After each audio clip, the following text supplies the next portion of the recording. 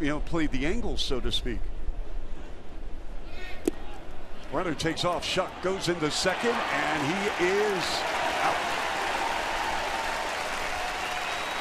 He wants to wants to talk a little over, and let's see if we're going to have a challenge on this.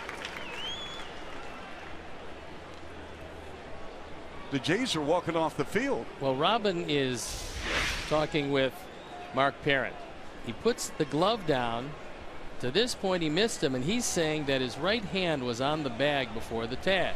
But this is a slide exactly like the slide that Mike Trout made at third base to elude a tag.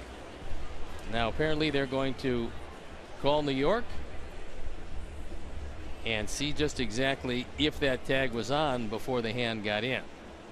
Quite obviously, if the ball beats you and there's no way that you can get in going the normal way, you lift the hand. He missed him there.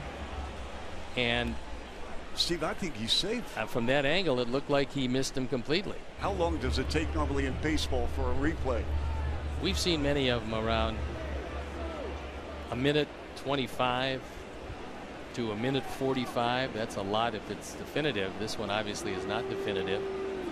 But as long as they get it right, Chuck, i.e., he's safe at yep, he's second safe. base. So nice. as long as they get it right, then it works out well, and that'll go as a stolen base, and he's in scoring position. So vindication for J.B. Shuck.